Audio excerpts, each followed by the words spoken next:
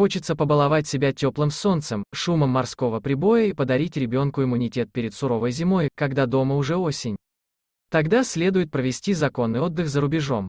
Отдых на островах в сентябре и начале октября предлагает туристам познать колоритную культуру посещаемого курорта, посетить колониальные постройки, познакомиться с джунглями или просто получить удовольствие от качества отельного обслуживания.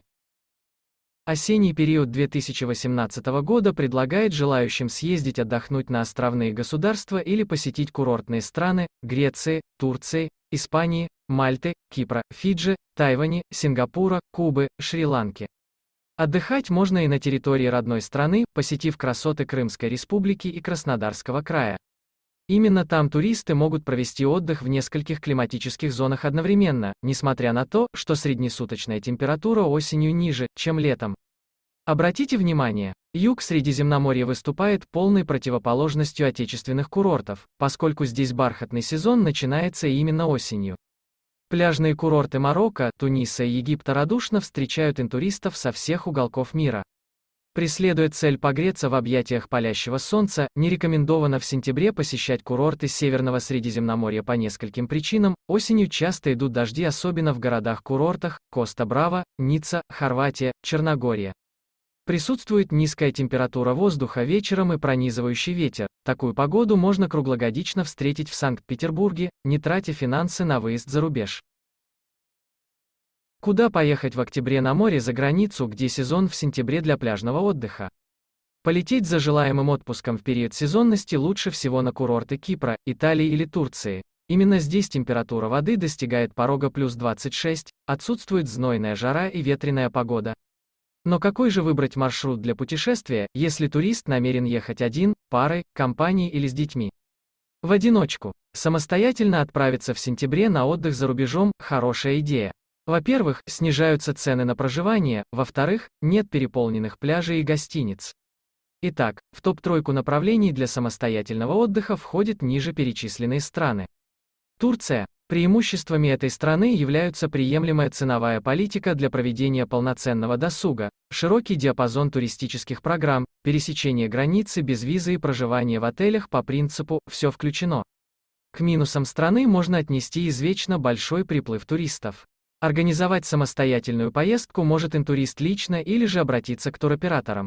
Личная организация забирает много сил и энергии, поскольку необходимо забронировать авиабилет, трансфер и отель. В целом на организацию поездки собственными силами может уйти порядком двух недель, а использование услуг туристических агентств обязывает путешественника только оплатить путевку, поскольку за все остальные организационные вопросы отвечают туроператоры. В осенний период, находясь в Турции, рекомендовано посетить такие курорты, как Анталия, Алания, Белик, Кимер. Именно в этих городах таится античное наследие замка Святого Петра, Сиде, Каппадокия. Если же, приехав в Турцию, цель туриста – активный отдых, ему лучше остановиться в отелях, где действует программа «Все включено», тогда за туристом будет закреплено право посещать тематические вечера, принимать участие в конкурсах, проявив свою харизму на одном из таких вечеров. Возможно, поездка в одиночку изменит семейный статус приехавшего раз и на всю жизнь. Израиль. Эйлат – курортный город, предлагающий туристам разнообразие в водных развлечениях и посещение культурного празднества, фестиваль джазовой музыки. Преимущество курорта – длительность лета вплоть до ноября месяца, возможность познать библейскую истину, подавшись в паломничество.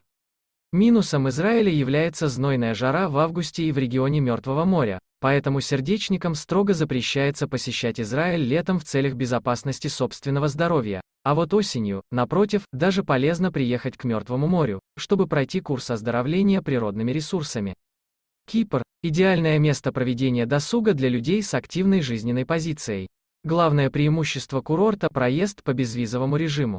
Также преимуществами можно отметить достаточно близкое расположение к России. Буквально за три часа перелета турист может уже наслаждаться теплотой Средиземного моря. Гостеприимство туристов на Кипре находится на более высоком уровне в сравнении с Европой. Недостатками греческого острова стоит отметить небольшой спектр исторических достояний и впечатляемые цены на путевки. Важно? Выбирая данный остров для проведения отдыха, туристу выпадает уникальная возможность посетить столицу Кипра, Никосию, погулять по полуострову Акамас, который является главным заповедником Кипра, посетить неординарное сафари на ослах и познать ремесла традиционных деревень вживую. Отдых парами. Куда нужно ехать, чтобы уединиться вдвоем и взять от поездки все? Греция – страна, богатая историческими местами и парками развлечений. Предлагает посетить под водой остров Олус и пещеру Зевса, чтобы дотронуться до истоков многовековой культуры Греции. Разбавить романтические прогулки греческий остров предлагает посещением парка развлечений Акваплус и сувенирных аллей, ведь именно в октябре месяце цены на товары сильно снижаются. Внимание! Турист может столкнуться со следующими недостатками. Везде указатели изображены на греческом языке и для посещения этой страны необходимо оформить визу. Проведение отпуска компанией. Марокко – город, созданный для туристов, предпочитающих отдых в компании. Он предлагает им марокканские праздники, фестиваль берберов, финиковой пальмы и опробовать себя в водных видах спорта, дайвинг, серфинг, талассотерапия, прогулка на яхте. Достоинства курорта заключаются в том, что остров имеет субтропический климат, где не заметен резкий перепад температур, также именно здесь прослеживается отсутствие дождей и духоты. Для посещения Марокко интуристы должны оформить визу на въезд, это основной минус для российских граждан. Где провести отпуск с детьми? Египет – курорт для семейного отдыха. Во-первых, здесь демократичные цены на развлечения и экскурсии, во-вторых, в Египте царит лето круглогодично. Каждый отель песчаной страны располагает на своей территории аниматоров, детские площадки, аквапарки. Также туристы могут выбрать отдых на пляже с пологим спуском, чтобы обезопасить ребенка во время захода в море. Главным недостатком страны отмечена волокита с бумагами для оформления визы на срок 30 дней.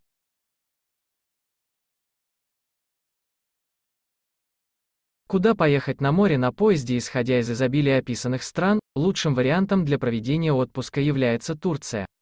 Среди плюсов правительство страны не требует оформления визы, туристические фирмы предлагают горящие путевки с обслуживанием, все включено, стоимость которых на 7 дней составляет 14 тысяч рублей, на 2018 год, администрация отелей старается организовать досуг для всех категорий отдыхающих, начиная от детей трехлетнего возраста, заканчивая пожилыми людьми, прибывшими с целью пройти курс оздоровления. Этот курорт создан для людей, которые усердно работали более 12 часов в сутки на протяжении года, чтобы приехать в Турцию и отдохнуть по максимуму. Куда поехать зимой на море для корректной организации запланированного досуга будущий турист должен рационально оценить свои финансовые возможности, исходя из них, выбрать страну или пляжный остров, где бы хотелось провести отпуск, ознакомиться с условиями въезда в страну, приняться за регистрацию тура в самостоятельном порядке, забронировав отель, авиабилеты и трансфер или купить билеты посредством туроператора, сэкономив нервы и финансы, получив взамен зарегистрированный тур с проживанием, питанием и перелетом, а сумма выйдет почти в половину меньше. Под конец хотелось бы отметить, что такие города-курорты и пляжные острова, как Турция, Греция, Испания, Марокко, Египет, Израиль, Сингапур, Болгария, Кипр и Мальта спасают российское население от осенней хандры, предоставляя им возможность покупаться в лучах теплого солнца, купив путевки или забронировав заранее отель по демократичным ценам.